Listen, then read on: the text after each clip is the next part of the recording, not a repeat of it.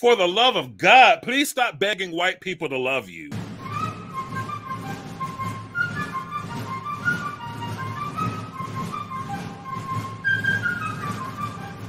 Recently, the question was asked to black women on TikTok if they were alone in a conference room, who would they rather see walk into the conference room? A white man, or a white woman? My answer would be that if I was a white man or a black man, that unless I'm giving that black woman a job promotion, I would be afraid to walk into a conference room along with her anyhow. I would have to be escorted in there by a witness or someone from upper management. For a white man, a false accusation of racism, and for a black or white man, false accusations of sexual harassment can cost a man his career at best or his freedom at worst. Those kinds of accusations do not go away as easy as they come. But before I really really dig into the subject today, I'm going to need you to go ahead and smash that thumbs up, hit that subscribe button and that bell notification so you'll know when I go live or when I upload new content.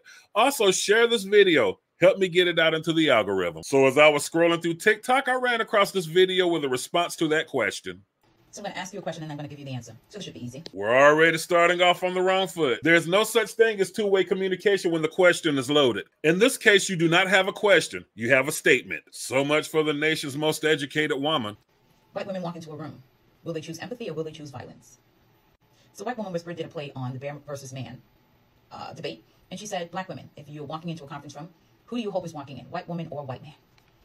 You guessed it. Black women chose white men and white women chose violence. Well, there is a reason that black women would have chosen white men because they're collectively in competition for a white woman's place in the white man's household. This is why you see white women getting bullied on social media by black women for wearing braids or showing some love interest in black men. Any other time, these same black women are slamming black men for not living up to their standards. They're always comparing the negative stereotypes of black men to the positive stereotypes of white men. Ever notice how white women never call out black women for cultural appropriation whenever they're wearing wigs, weaves, and contact lenses? So on the scorecard, there's eight sections of the empathy scorecard. There's active listening, understanding perspective, emotional responsive, emotional responsiveness, emotional recognition, helping behavior, apologizing and forgiving, non-judgmental attitude. And when I tell you, in every one of those areas, white women failed. But because a lot of white women don't have empathy. They weren't interested in actively listening, and they damn sure are never interested in understanding our perspective, only theirs. It's amazing how white women will come together and help harm black people, but struggle coming together to help resolve issues for black people, more specifically black women. So you're going to generalize an entire race of women based on random TikTok users and some bullshit scorecard? Okay, if you're going to conduct a survey, you're going to need the data reflecting demographics. Demographics by age, by income, by education, by life's experiences. I'm really beginning to believe that if this woman has any credentials, that it was gotten from a fly by night college at best or a crackerjack box at worst. And asking them to have a non judgmental attitude is asking them to make water dry and not wet.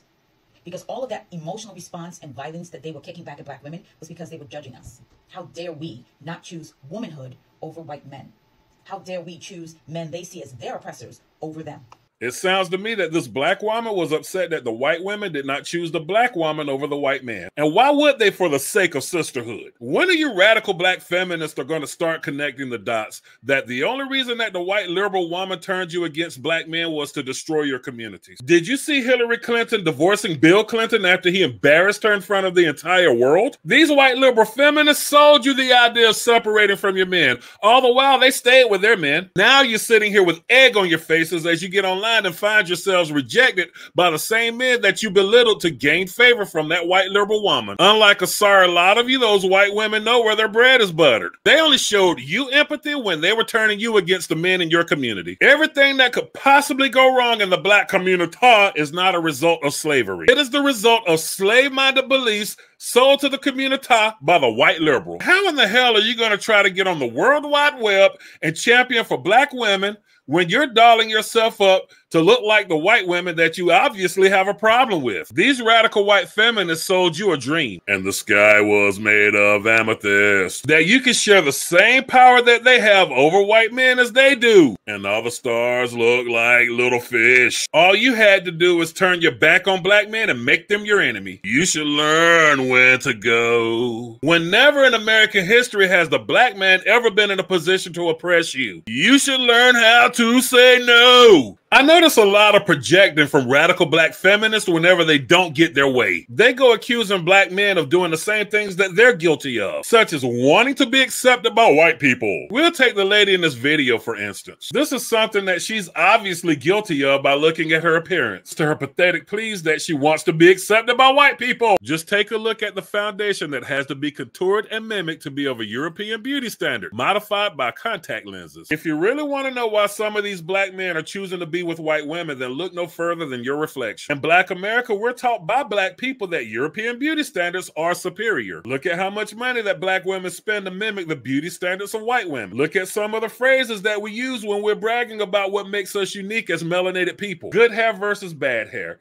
pretty light colored eyes if they're natural. And if they're not natural, like contact lenses, we will compliment each other on having different eye colors. Look at the jokes that black people crack on other black people about the sizes of their lips, the shapes of their noses, and the pigmentation of their dark skin. We act as if we don't even see white women who are going to spend money to have those same lip sizes or aging early because of the sacrifices that they make in the tanning bed or in the sun. If you're a light skinned black woman with blue eyes and a blonde wig, then why in the hell would a black man would just not go for the real thing instead of the carbon copy. Because at that moment in time, you're just a carbon copy of a white woman with a tan. The only difference is with a white woman, her hair grows naturally from her scalp and her eye color doesn't go into a contact lens case. And while she's accusing white women of lacking empathy, she should know that black women collectively practice the same lack of empathy. How many times have you seen a black man on social media with a bleeding heart and he's attacked by black women who lacked empathy? We all know that one question that black women women are known to ask when they see a man hurting. And they ask that question with malicious intentions to taunt him. Who hurt you? You need to stop worrying about what that white man got going on with that white woman and worry about what you don't have going on with black men. When that white liberal feminist came to you with her game plan, she left you alone. When these white women go after these professional black athletes,